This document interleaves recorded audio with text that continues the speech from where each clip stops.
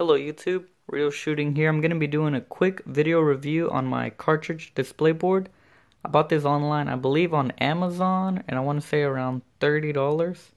There's not a lot of videos on this board, and I had thought about figuring out a way to display my bullets on the wall, or cartridges. And uh, when I came across a video on this one, I thought it was pretty cool, and it's very affordable for $30. There are more expensive ones, and they look fancier. This one's just a plastic board with plastic clip inserts for you to hold your cartridges in there. As you can see, this one holds 42 rounds, anything from 22 short to 10 gauge shot shells. And so when you first open it up, you get the board.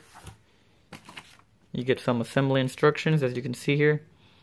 You just insert in the clip as much as you need to to fit the diameter of the casing. And then on the back of the board, you pinch it off with some pliers or wire cutters. There you go. And here's all the clips. You can see some already fall off. They did come with extra, so some of them will break and mess up if you don't put it in correctly or if you want to remove it and move a bullet. But most of them, if you're gonna, you want to have it planned out where you're gonna put what bullets. That way you don't have to take them in and take them out because that will mess up the clips. It's basically supposed to be like a one-time deal. You put it in there, don't move it again. And it also comes with this, which is a list of popular European and American cartridges. As you can see here, you just cut off the ones that you need. It is sticky on the other side, I believe.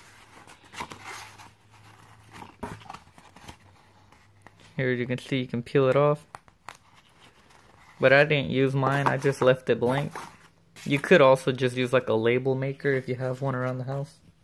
You can label all your cartridges on your board, make it look neat and organized.